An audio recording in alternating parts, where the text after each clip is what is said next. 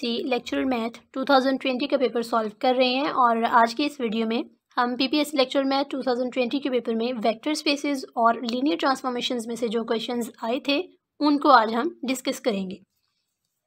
Question number first है हमारे पास let V be a vector space then V has options आपको given है unique basis many basis two basis या none of these ठीक है? अब आपको गिवन क्या है कि आपके पास एक वेक्टर स्पेस है वी ठीक है? सिर्फ़ ये चीज़ आपको बताई गई है कि एक वेक्टर स्पेस वी की बेसिस के बारे में आपसे पूछा गया है कि उसकी जो बेसिस होती है, वो यूनिक बेसिस होती है, कई सारी बेसिस होती हैं या सिर्फ़ दो बेसिस होती हैं, या इनमें से कोई भी ऑप्शन जो है वो करेक्ट नहीं है। तो क्या है कि आपके पास जो एक वेक्टर स्पेस वी है, ठीक है, उसकी बेसिस बेसिस क्या होता है? बेसिस आपके पास, अगर हम बेसिस की डेफिनेशन को पहले देख लें तो बेसिस हमारे पास क्या होता है कि कलेक्शन ऑफ़ वेक्टर्स या हम कह सकते हैं कि ऐसे वेक्टर्स का सेट जो कि सेट ऑफ़ ऑल वेक्टर्स कौन से वेक्टर्स का सेट जिन पे दो कंडीशंस आपके पास सेटिस्फाई होती हों, ठीक है? फ़र्स्ट कंडीशन क्या होती है कि तमाम वेक्टर्स वो क्या होने चाहिए? All vectors which are linearly independent ठीक है? एक कंडीशन क्या है? कि उन तमाम वेक्टर्स का सेट जो कि लीनियरली इंडिपेंडेंट है, ठीक है? आपस में क्या हो, सारे के सारे वेक्टर्स लीनियरली इंडिपेंडेंट हों। और सेकंड कंडीशन आपके पास क्या होती है? कि वो तमाम वेक्टर्स जो हैं, वो वेक्टर स्पेस वी को स्पैन करते हों, ठीक है? यानी कि हम दूसरी जो कंडीशन है, वो क्या कह सकते हैं कि vectors span vector space V V को स्पैन करते हो इसका मतलब क्या है कि हम वी के किसी भी वेक्टर को उन वेक्टर्स के लीनियर कॉम्बिनेशन में लिख सकें, ठीक है? ये दोनों कंडीशन जब सेटिस्फाई हों तो उन तमाम वेक्टर्स का सेट जो है, वो क्या बनाता है? वेक्टर स्पेस वी की बेसिस बनाता है, ठीक है? तो अब क्या है कि क्वेश्चन आपसे पूछा गया है कि जो बेसिस होती है किसी भी वेक्टर स्पेस वी की, वो क्या होती है? इन ऑप्शंस में से आपने बताना है कि यूनिक होती है मैनी बेसिस होती हैं या टू बेसिस होती हैं। तो यूनिक क्या होता है? यूनिक बेस क्या होगी? अगर हम कोई भी वेक्टर स्पेस वी लें तो उस वेक्टर स्पेस वी की हमारे पास सिर्फ़ एक ही बेसिस आए, ठीक है? सपोज़ कर लें कि आपके पास एक से ज़्यादा बेसिस आ जाती हैं। जैसे कि अगर आपके पास एक बेस जो है, हम वी वन नाम दे रहे हैं। एक बेस अगर आपके पास आई है V one V two V three ठीक है? एक बेस आपके पास ये है, एक वेक्टर स्पेस वी की, कि उसमें ये तीन वेक्टर्स हैं, ठीक है? तो जो वेक्टर स्पेस वी होगी, उसमें जो एलिमेंट्स होंगे, वो वेक्टर्स के फॉर्म में होंगे, ठीक हो गया? तो हमने जो एक बे, बेसिस ली है उस बेसिस में आपके पास सिर्फ़ तीन ही एलिमेंट्स हैं ठीक है? और यानी कि तीन वेक्टर्स हैं। कौन से तीन वेक्टर्स हैं? ये तीन वेक्टर्स हैं ठीक है? अब सपोज़ करें कि हम एक और बेसिस लेते हैं वी टू इस बेसिस में अगर आपके पास एलिमेंट्स हैं वी वन वी टू चलिए एक और जो एलिमेंट हमने लिया है वी थ्री नहीं लिया वी ये वी थ्री एलिमेंट है। चलें एक एलिमेंट हमने ले लिया है वी फोर ठीक है? सपोज़ किया हमने, ठीक है? हम कोई ऑर्बिट्रेरी बेसिस ले रहे हैं। तो हमने एक जो बेसिस एक बी वन ली है, वो ये है कि उसमें, उसके अंदर ये तीन वेक्टर्स हैं। कौन कौन से? एक वी वन वैक्टर है, कोई स्पेसिफिक ये वेक्टर्स होंगे, ठीक है? तो दूसरी बेसिस जो हमने ली है, उसमें आपके पास ये तीन वेक्टर्स हैं कि एक वी वन वैक्टर है, यानी कि एक तो यही वाला वेक्टर हमने ले लिया है दूसरा वेक्टर जो हमने लिया है, वो ये वाला ले लिया, लेकिन जो तीसरा हमने वेक्टर लिया है, वो डिफरेंट लिया है, ठीक है? अब क्या मतलब है इसका कि ये दोनों बेसिस क्या है? डिफरेंट है, ठीक हो गया? तो यूनिक बेस कब होगी? यूनिक तब होगी जब आपके पास ये जो दोनों बेसिस के एलिमेंट्स हैं, ये डिफरेंट ना हो, बल्कि क्या हो? सेम हो, ठीक है? जो एलिमेंट इसके अंदर है, जो वेक्टर्स इसके अंदर है, वही वेक्टर्स इस बेस के अंदर भी हो, तब हम क्या कहेंगे कि जो वेक्टर स्पेस वी है, उसके पास उसकी हमारे पास जितनी भी बेसिस आ रही हैं, वो सारी की सारी बेसिस क्या है? सेम है। कोई बेस हमारे पास डिफरेंट नहीं है। तब हम कहेंगे कि जो वेक्टर स्पेस वी है, उसकी बेस क्या है? बेसिस उसकी क्या है? यूनिक है।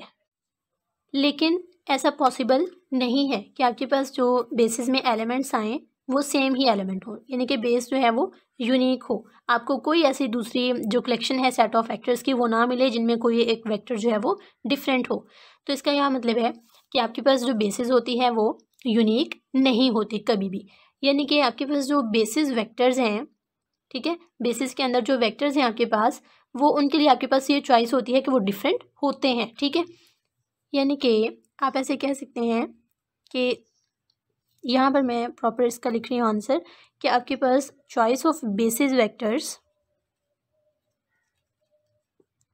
the choice of basis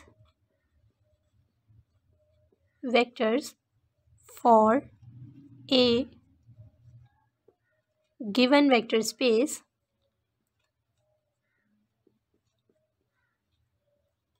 is not unique.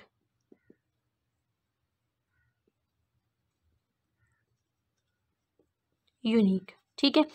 कभी भी आपके पास जो एक वेक्टर स्पेस वी है, ठीक है, उसकी बेस कभी भी बेसिस कभी भी यूनिक नहीं होती, ठीक है? यानी कि आपको इस तरह के कई सारे सेट्स मिल जाते हैं, जिनमें आपके पास क्या है डिफरेंट आपके पास वेक्टर्स जो हैं, वो मौजूद होते हैं। लेकिन एक चीज़ यहाँ पर इंपॉर्टेंट है, वो क्या है कि जो बेसिस के अंदर, ठीक है, एक कलेक्शन आपने ली है वेक्टर्स की जो तादाद होती है, वो यूनिक होती है। अगर आपके पास ये बेसिस है, इसके अंदर तीन एलिमेंट हैं, ठीक है? तो एक आपने वेक्टर स्पेस की कोई और बेसिस ली है, जैसे कि हमने यहाँ पर बेसिस ली है, ठीक है? तो यहाँ पर अगर आप नोट करें तो वेक्टर्स तो हमने डिफरेंट लिए हैं, ठीक है?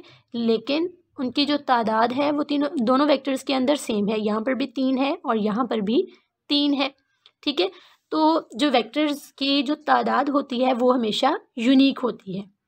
तो और दूसरी चीज़ आपको पता है कि जो बेसिस के अंदर एलिमेंट्स की जितनी भी तादाद होती है, वो किसी भी वेक्टर स्पेस की डायमेंशन हमें बताती है, ठीक है? किसी बेसिस के अंदर जितने एलिमेंट्स होते हैं, उतनी ही उस वेक्टर स्पेस की डायमेंशन होती है, ठीक है? अगर आपको वेक्टर स्पेस की डायमेंशन पहले से पता हो, जैसे आपको, अगर आपके पास एक वेक्टर स्पेस है आर क्यूब ठीक है? तो इस वेक्टर स्पेस की डायमेंशन क्या होगी? तीन होगी, ठीक है? अगर डायमेंशन आपको पहले से पता है तो आप उस सेट के जो बेसिस है बेसिस के अंदर एलिमेंट्स की तादाद बता सकते हैं, ठीक है? यानी कि अगर ये आपके पास आर है वेक्टर स्पेस तो इसकी बेसिस में कितने एलिमेंट्स होंगे? इसकी बेसिस में तीन एलिमेंट्स होंगे। इसी तरह, अगर आपके पास बेसिस में एलिमेंट्स की तादाद आपको पता है, ठीक है तो वहाँ से आप डायमेंशन भी बता सकते हैं, ठीक हो गया? तो यहाँ पर क्या है कि चॉइस जो आपके पास बेसिस वेक्टर्स की है, वो यूनिक नहीं होती, ठीक है? आपके पास एक वेक्टर स्पेस जो है, वो एक से ज़्यादा बेसिस बना सकती है, ठीक है? Is not unique but important point है ये आपके पास कि जो नंबर ऑफ़ फैक्टर्स हैं,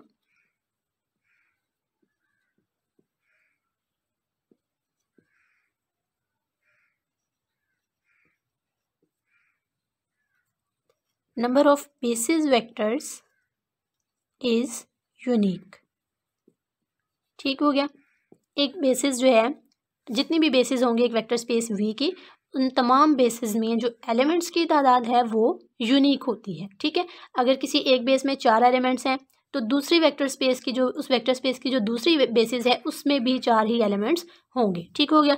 तो हमारे पास पहला ऑप्शन करेक्ट नहीं है, ठीक है? कभी भी वेक्टर स्पेस वी की जो बेसिस है वो यूनिक नहीं होती। अगर हम सी ऑप्शन देखें तो सी ऑप्शन में आपके पास क्या है कि टू बेसिस होती हैं, एक वेक्टर स्पेस वी की दो बेसिस होती हैं। तो आपके पास जो सी ऑप्शन है, ये भी करेक्ट ऑप्शन नहीं है, ठीक है? कि कभी भी हमें हमें नहीं पता कि किसी बेसिस की दो बेसिस हैं, किसी वेक्टर स्पेस की दो बेसिस हैं, तीन बेसिस हैं या चार बेसिस हैं तो ये आपके पास सी ऑप्शन भी करेक्ट ऑप्शन नहीं है, ठीक है? तो इन ऑप्शन में से आपके पास जो करेक्ट ऑप्शन है, वो है बी ऑप्शन कि मैनी बेसिस ठीक है? एक वेक्टर स्पेस वी जो है, वो ला तादाद बेसिस बना सकता है, ठीक है? बेशुमार बेसिस बना सकता है। लेकिन उन बेसिस में जो एलिमेंट्स की तादाद है, वो हमेशा फिक्स होती है, ठीक है? तो आपके पास जो करेक्ट करेक्ट ऑप्शन है इस तरह से, वो है बी के एक जो वेक्टर स्पेस वी है हैज़ मैनी बेसिस ठीक है? क्वेश्चन नंबर टू है if L M and N are subspaces of vector space V such that M is subset of L या आप कह सकते हैं कि M is subspace of L then which option is correct ठीक है option आपको गिवन है कि L intersection M plus N equal to L intersection M plus L intersection N second option है L intersection M plus N equal to M plus L intersection N third option है L union M plus N equal to L union M plus L union N और last option आपके पास both A and B are correct ठीक है ए and B ये दोनों correct हैं। तो देखिए, इसके लिए हमारे पास एक थ्योरम है, ठीक है? इसका जो आंसर है, वो हमें थ्योरम से आसानी से मिल जाएगा। थ्योरम है आपके पास। If L M N are three subspecies of vector space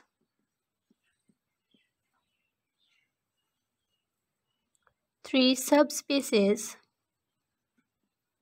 of vector space V V such that किस तरह से? कि M is subset of L. Then result आपके पास क्या होता है? कि L intersection M plus N equal to L intersection M plus L intersection N ठीक है? और ये इक्वल होता है M plus L intersection N के, ठीक है? तो ये आपके पास थ्योरम की स्टेटमेंट है। इस वेक्टर स्पेसिस में से जो भी क्वेश्चंस आए हुए थे मोस्टली जो है वो सब के सब यहाँ पर क्या थे? आपके पास थ्योरम्स की स्टेटमेंट्स थी, ठीक है? अगर तो आपको थ्योरम्स की स्टेटमेंट्स आती थी तो आप जो है वो आसानी के साथ ईजिली जो है वो इनके ऑप्शन जो है वो करेक्ट ऑप्शन आप चूज़ कर सकते हैं। तो यहाँ पर आपके पास थ्योरम ये है ठीक है? तो यहाँ से देखिए कि आपके पास जो अगर एक तीन वेक्टर स्पेसेस हैं, एक तीन सब स्पेसेस हैं, एक वेक्टर स्पेस वी की, किस तरह से कि आपके पास उन दो जो है, वह सब स्पेसेस में आपके पास ये रिलेशन होल्ड करता है, ठीक है कि एम जो है वो एक सब स्पेस है एल की। तो करेक्ट आपके पास क्या है? रिज़ल्ट आपके पास ये है कि L intersection M plus N ये इसके भी बराबर होता है और L intersection M plus N जो है वो इसके भी बराबर होता है, ठीक है? तो यहाँ पर ऑप्शंस में अगर आप देखें तो आपके पास कौन सा ऑप्शन करेक्ट है? तो यहाँ से आपको नज़र आ रहा है कि L intersection M plus N इसके बराबर है, ठीक है? इसके बराबर है और सेकंड ऑप्शन आपके पास ये है कि यही चीज़ जो है वो इस रिज़ल्ट के भी बराबर है, ठीक है? तो इस तरह से आपके पास करेक्ट ऑप्शन क्या हो जाएगा? करेक्ट ऑप्शन करेक्ट ऑप्शन आपके पास ये होगा कि दोनों जो हैं वो ए और बी दोनों करेक्ट हैं, ठीक है? तो ऑप्शन डी आपके पास क्या है? करेक्ट ऑप्शन है, ठीक हो गया। नेक्स्ट क्वेश्चन है Let W be a subspace of finite dimensional vector space V, then dimension of V over F equal to ठीक है? अब आपसे क्या कहा गया है कि जो W है एक फाइनाइट डायमेंशनल वेक्टर स्पेस है V उसकी सब स्पेस है W ठीक है? और आपको डायमेंशन किसकी बतानी है? V ओवर W की आपको डायमेंशन बतानी है ठीक है? अगेन आपके पास ये एक थ्योरम की स्टेटमेंट है। थ्योरम आपके पास क्या है? थ्योरम की स्टेटमेंट मैं यहाँ पर लिख देती हूँ। Late W be a subspace of W be a subspace of finite dimensional vector space V then dimension of V over W आपके पास इक्वल होती है dimension of V minus dimension of W ठीक है? तो यहाँ से आप देख लें कि आपके पास कौन सा ऑप्शन यहाँ से करेक्ट होगा कि आपका ऑप्शन गिवन है dimension V plus dimension W second option है dimension V minus dimension W dimension of V minus W या dimension of V plus W तो थ्योरम की स्टेटमेंट से क्लियर है कि आपके पास कौन सा ऑप्शन करेक्ट है। ऑप्शन बी आपके पास करेक्ट ऑप्शन है कि dimension of V over W equal होती है dimension of V minus dimension of W के।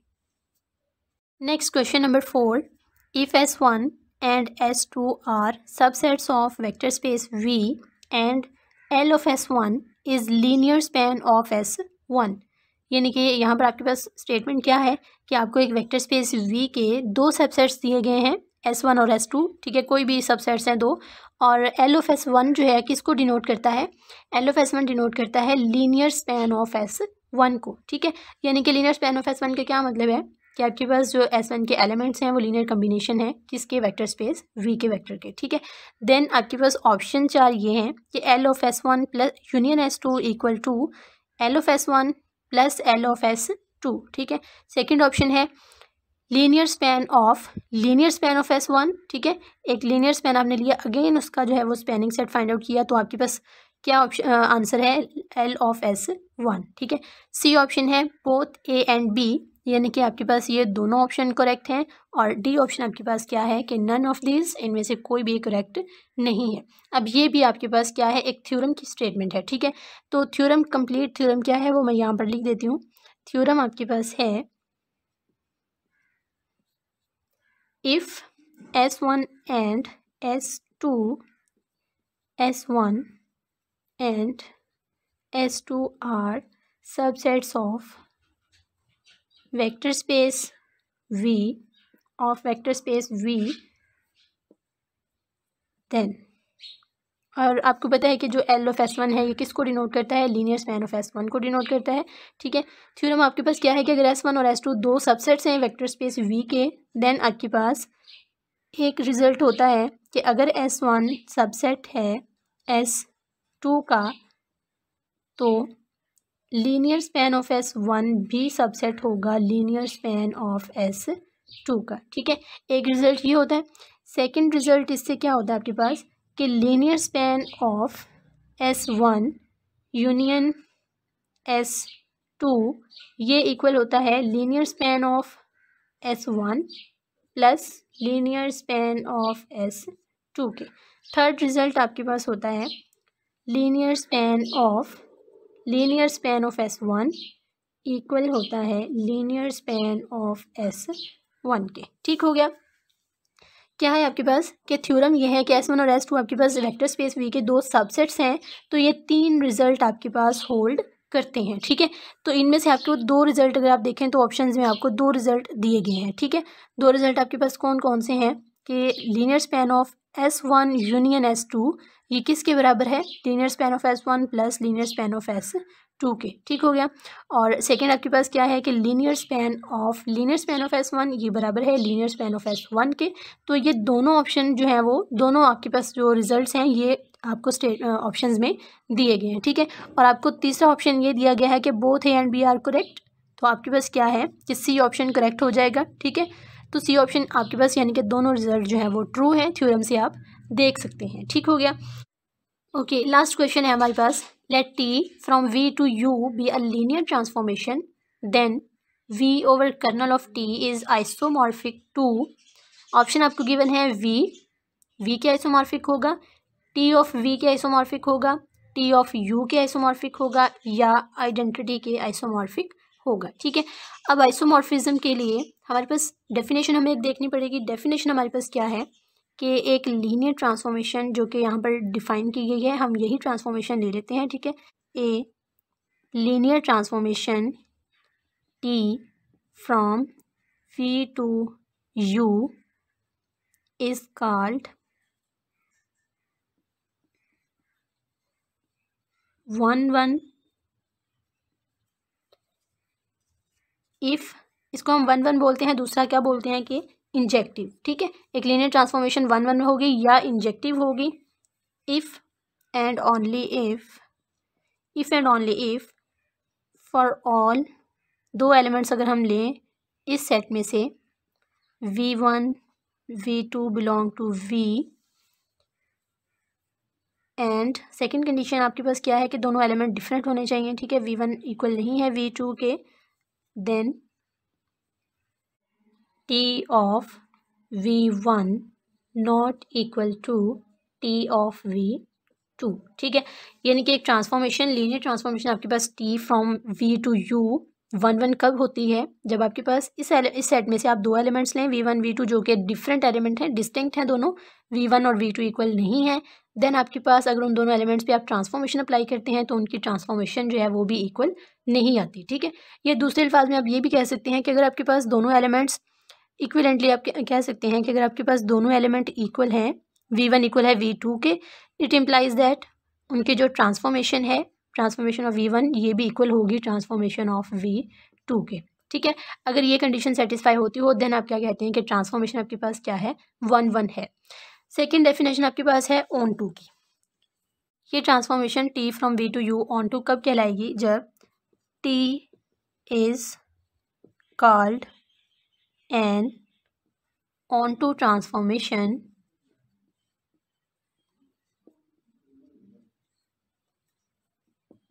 If r of t equal to u, ठीक है? अब ये आपके पास आर ऑफ़ टी क्या है? रेंज ऑफ़ ट्रांसफॉर्मेशन ठीक है? और रेंज ऑफ़ ट्रांसफॉर्मेशन जो है, इसके एलिमेंट्स किस पे मैप होने चाहिए? किस सेट पे मैप होने चाहिए? सेकंड सेट पर, ठीक है? देन हम क्या कहते हैं? अगर इस ट्रांसफॉर्मेशन की जो रेंज है वो क्या आए? सेकेंड सेट जो आपके पास यू है यू के बराबर आए देन हम क्या कहते हैं कि टी जो है वो एक ऑन टू ट्रांसफॉर्मेशन है। ठीक हो गया? अब ये दोनों डेफिनेशंस बताने का मकसद क्या है? ये दोनों डेफिनेशंस हमें इससे हमें मिलती है डेफिनेशन आइसोमॉर्फिज्म की। ठीक है? अब आइसोमॉर्फिज्म आपके पास क्या है? आइसोमॉर्फिज्म ये है कि अगर एक ट्रांसफॉर्मेशन वन वन भी हो और ऑन टू भी हो देन वो ट्रांसफॉर्मेशन जो है वो आइसोमॉर्फिज्म कहलाती है, ठीक है? A linear transformation that is both one one that is both one one and onto is called an isomorphism, is called an isomorphism. ठीक है? लीनियर ट्रांसफॉर्मेशन आइसोमॉर्फिज्म कब कहलाती है? जब वो वन वन भी हो और ऑन टू भी हो ठीक है? देन वो क्या कहलाती है? आइसोमॉर्फिज्म कहलाती है। अब देखिए यहाँ पर हमें किसका पूछा गया है? V over kernel of T का ठीक है? अगर आप ऑप्शंस पर गौर करें तो ऑप्शंस आपको गिवन है V T of V T of U या ई e, ठीक है?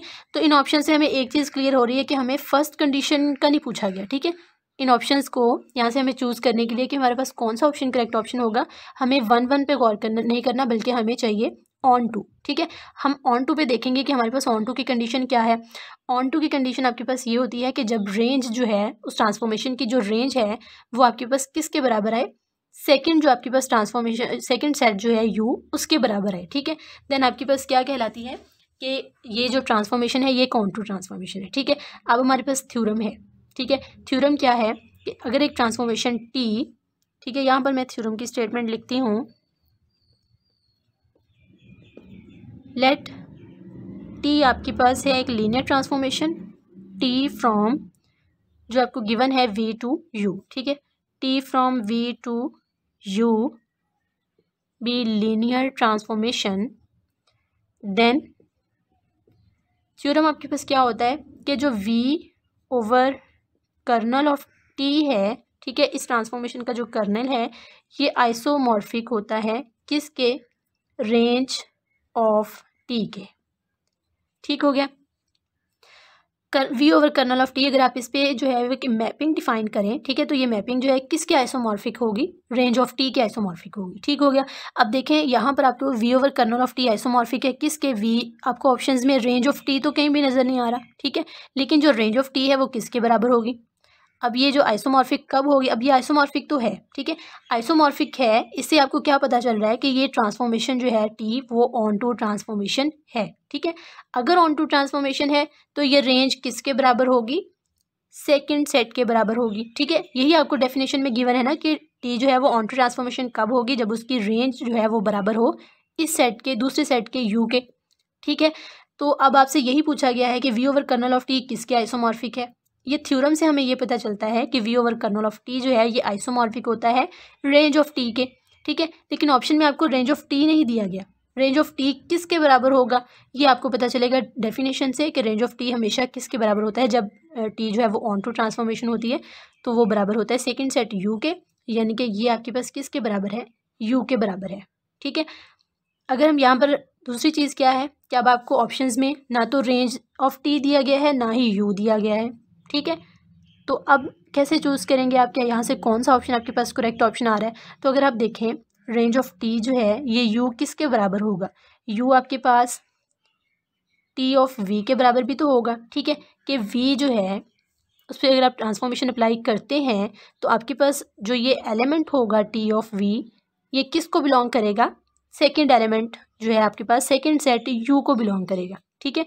यानी कि अगर आप पहले सेट पे मैपिंग जो है वो अप्लाई करते हैं ट्रांसफॉर्मेशन अप्लाई करते हैं तो उसका जो आंसर होता है या जो आपके पास एलिमेंट आता है, वो किस सेट को बिलोंग करता है? उस सेकंड सेट को बिलोंग करता है, ठीक है? यानी कि अब आपके पास जो रेंज ऑफ़ टी है, वो यू के बराबर है और यू किसके बराबर है? टी ऑफ़ वी के बराबर है, ठीक है?